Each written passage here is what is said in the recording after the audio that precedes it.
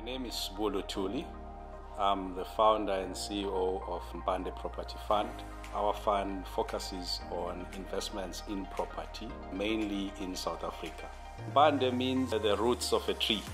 The reason why we named the fund Mpande was because we're dealing with mainly retirement fund monies.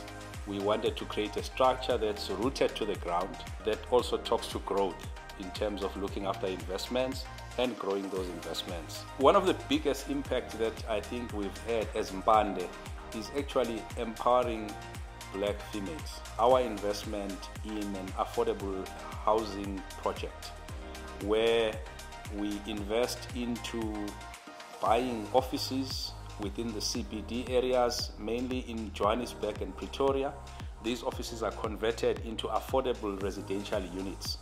The impact that those units have is that because they are affordable, people that wouldn't ordinarily be able to live and reside within the city, within a transport node, as well as within the work environment, the business activity where they work, are then suddenly able to afford to be able to stay there. The impact of our investments make life easier and better and improve the social environment of our people. I am the former CEO of uh, one of the big pension funds, which is the Eskom Pension and Provident Fund. That's where I first interacted with RisCura.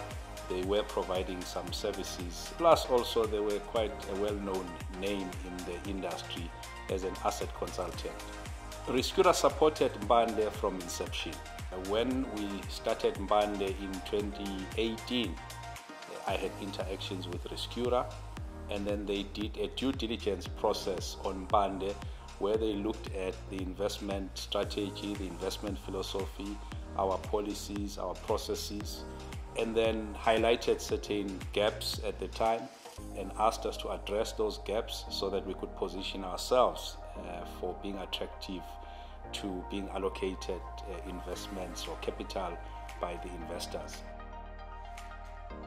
One of the proudest moments was when we could achieve our first close in September 2019.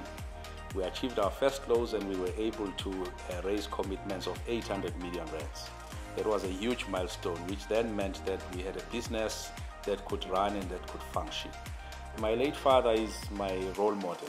He always said, never accept no for an answer.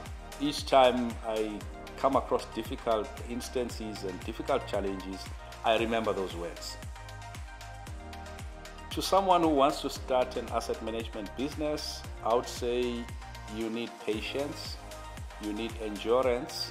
It's not going to happen overnight. There's also going to be challenges and ups and downs. So you need that stamina and perseverance until you achieve your objective.